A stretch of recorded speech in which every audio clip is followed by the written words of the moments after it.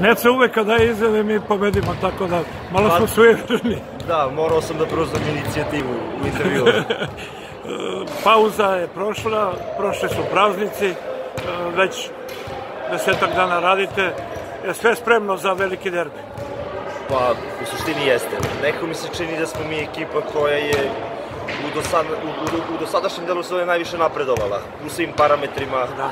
Nekako uh, u novoj godini očekujemo da, da će sve to da, da, da, da dođe na svoje, da, da legne. Kompletirani smo na svim pozicijama i onda ne preostaje nam ništa, samo da radimo naporno i da čekamo ove bitne utakmice. Ove- Marko hvali njihovu ekipu, ja sam mu odgovorio da i mi imamo svoje adute.